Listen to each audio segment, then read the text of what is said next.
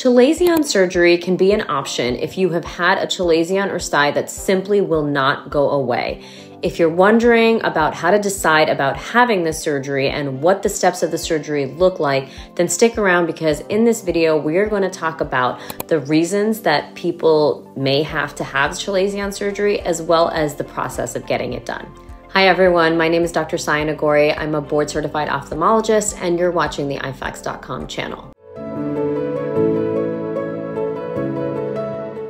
Remember that this video is for educational purposes only, so for personalized medical advice, be sure to talk to your ophthalmologist. So first, let's talk about a chalazion. A chalazion is a common eyelid condition and it looks like a smooth lump. It can happen on the upper eyelid, it can happen on the lower eyelid, and it's usually caused by a blocked oil gland. There's actually another video on this channel all about clogged meibomian glands, so you can check that out if you're interested in that information. So, should you get surgery for your chalazion? Now, most chalazions will go away with conservative treatments, but some chalazia, unfortunately, do become persistent and troublesome. So, now let's break down why people may choose to have surgery for their chalazion or why a doctor may even recommend that it gets done. So, the first reason that you may consider wanting to get surgery done for your chalazion is that the chalazion has been there for several months or maybe even almost a year, and you have been treating it aggressively. Now, that's the key. If you haven't been treating it aggressively, then maybe you haven't really given it a true shot at getting better through conservative treatments. This means doing the warm compresses, cleaning the eyelids appropriately, and I would actually recommend that my patients do their warm compresses six to eight times a day for at least five to seven minutes each time. And that is a very, very difficult thing to do. So a lot of patients really can't do that. Now, in addition to the warm compresses, I tell patients to not use a towel because it gets really hot and cold quickly. So, you need to really purchase one of those heat masks online that really are specially designed to deliver moist heat for a longer period of time. It also makes it easier to commit to the treatment by putting it in the microwave. It's just really simple. You just put it in the microwave for a few seconds and then you're able to apply it to your face um, for several minutes. And also, you want to make sure that after you're doing that, you're doing the soapy eye wash.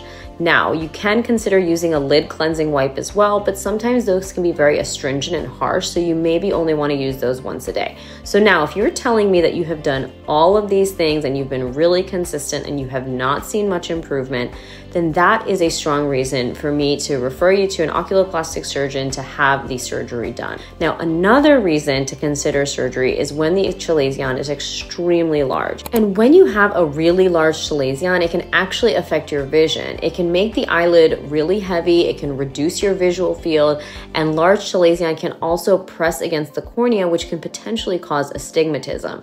In this case, because it's a chalazion causing the pressure, it would be a temporary distortion, but you certainly don't want to have to get a new pair of glasses just to accommodate the pressure that's being put on your eye from the chalazion. Now, astigmatism will often improve if it's being caused by the chalazion, but that's a good reason to consider surgical removal if it is just so large. Now, another reason patients may want to have their chalazion surgically removed is if they are getting frequent chalazion in the same exact spot or the same area. This could mean that there's a chronic blockage and surgery may be recommended by your eye doctor to avoid ongoing issues. Also, in rare cases, what looks like a chalazion could be something more harmful, like an insidious cancer that is just masquerading as a chalazion. And so, in that case, we may want to remove the chalazion so that we can actually get a biopsy of the tissue to make sure that it is, in fact, a chalazion and not some kind of skin cancer. Now, let's talk about how chalazion surgery works. If you're an adult, then the surgery is considered a minor outpatient procedure and it's typically done inside the doctor's office. For children that need chalazions removed, they typically will need anesthesia, so it's often not able to be done inside the doctor's office. So, once you are in the doctor's office, you will first get a numbing drop inside the eye to make your eye comfortable, and then a protective contact lens will be placed over the eye. This type of lens is different than the contact lenses we wear to see.